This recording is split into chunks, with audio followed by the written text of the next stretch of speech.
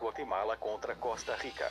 Nas eliminatórias da Copa do Mundo de 96, na cidade de Guatemala. Cerca de 60 mil ingressos foram vendidos, mas o estádio tinha capacidade para 45 mil espectadores. Antes de a bola rolar, uma avalanche de gente acabou espremida no alambrado. O que acabou ocasionando a morte de 84 pessoas e mais de 150 feridos.